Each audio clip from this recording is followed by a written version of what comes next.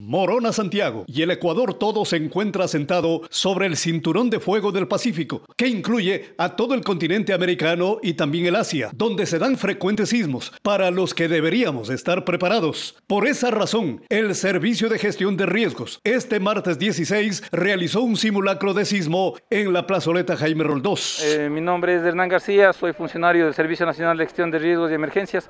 Sí. Lo que este momento nos encontramos realizando es un simulacro de evacuación con todos los funcionarios técnicos y administrativos de aquí del municipio de Morona. ¿sí?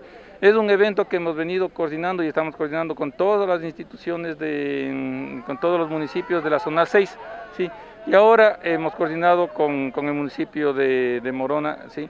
Y un agradecimiento a las autoridades eh, y a, los funcionarios del, municipio por esa gran respuesta que han sabido dar. Creemos que es indispensable que la población eh, empiece a trabajar en lo que es prevención y respuesta frente a eventos peligrosos. Creemos que es indispensable trabajar en lo que es ir generando una población resiliente y por eso es necesario que los funcionarios técnicos mm, del municipio, que son personas que están cercanas en el territorio, que están cercanas a la población, sean nuestros sean nuestros brazos que repliquen en la comunidad para ayudarnos a, ese objetivo, ir formando una población resiliente, una población con capacidad de ser su primera respuesta ante eventos peligrosos.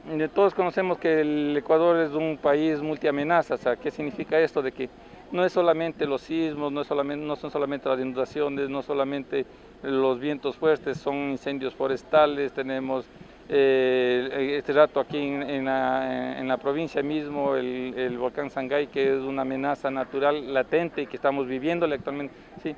Entonces, frente a, ese, a esa realidad de ser un país multiamenaza, eh, las instituciones responsables de ir generando una población resiliente, de ir preparando a la población, ¿sí? Eh, tenemos la obligación de trabajar en eso, tenemos la obligación de, ir buscando estrategias que nos permitan llegar a ese objetivo. Este rato, como les decía, estamos eh, trabajando frente a una amenaza que es latente y que es real, que son los sismos, ¿sí?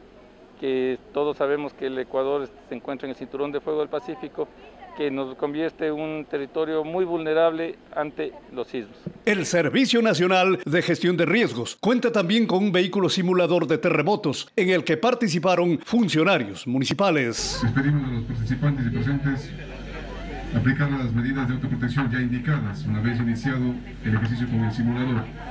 Por favor, mantenga la mesura y la calma durante el ejercicio. Este movimiento reproduce el gran sismo de Japón, denominado también terremoto de la costa del Pacífico en la región de Tohoku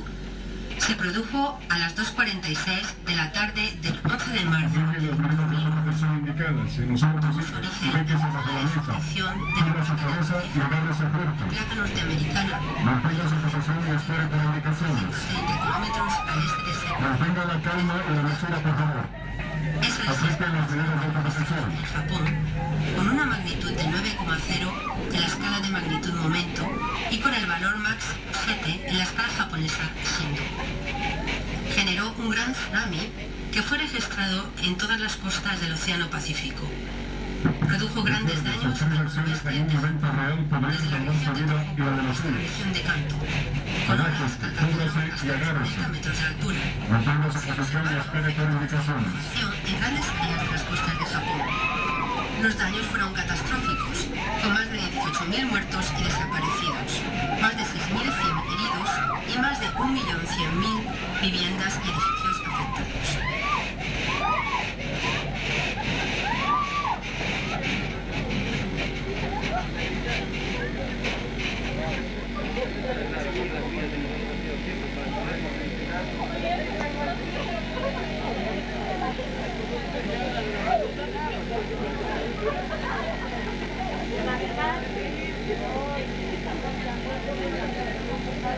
Miguel Alfonso Parra, exprésate, Morona Santiago.